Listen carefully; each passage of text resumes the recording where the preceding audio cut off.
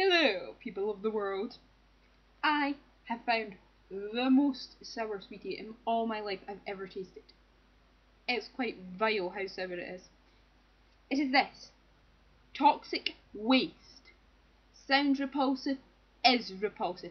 Even has oh, a warning on it. I will read to you. Caution consuming more than one within a brief time may cause irritation in mouth.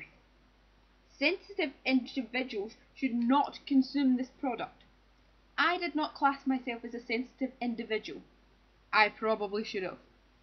These things come in a thing like this. There's five flavours. Oh yes, Blue Peter Dew. Got some I did take out the packet earlier. I dropped one on the floor though. Here is one I made earlier. There's like apple, lemon, watermelon, black cherry, and blue raspberry. My god.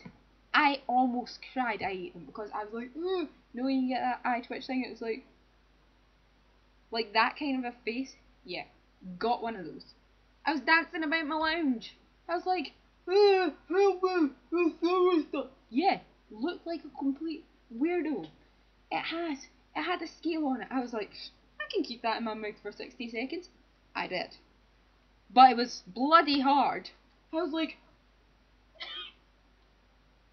Sam, this sour. Yeah, me and my big sister, who is like, just eats food that's sour all the time.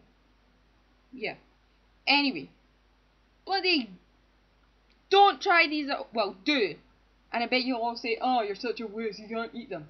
Bloody hard. If you say you're a wuss, you're lying. Don't care. Yeah, I was going to eat one, but no. That would just be weird. Because you eat them, then it goes to a nice stage, then the gooey centre comes out, and you're like, again, and people are like, what you doing? You ate that about five minutes ago.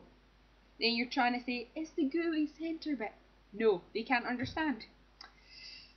Yeah, that's pretty much my rant about sour sweeties. Yeah, I haven't found anything more sour than them. I've eaten a lemon that wasn't as sour as them. That's all I'm saying. Nothing good happening to me this weekend, except, wait for it, I should get music. No. Britain's Got Talent. Oh yes, people, you heard me correctly. It is Britain's Got Talent weekend. So, anybody annoyed by Susan Boyle? Have you heard a Susan Boyle interview? If you have heard more than one, you've wasted your time because they're all the exact same. Someone will ask her, How's it been being famous? Do people come up to you in the streets? She'll go, Yes, people have come up to me in the streets. Then, if anyone asks for a sample of what she'll sound like next, do you see that head movement again? Yeah, She'll say, You'll have to wait till the show. This was an outrage. I got an English paper on Susan Boyle. An English paper. That's what I thought of it. An English paper. We had to watch the video again. She's got like bazillions of views. Ridiculous, that's why I said. But should be fun this weekend. No one will probably win except Susan Boyle. Or that wee boy. Shaheen something. Yeah, could win. Because you... I think it's a fix, personally.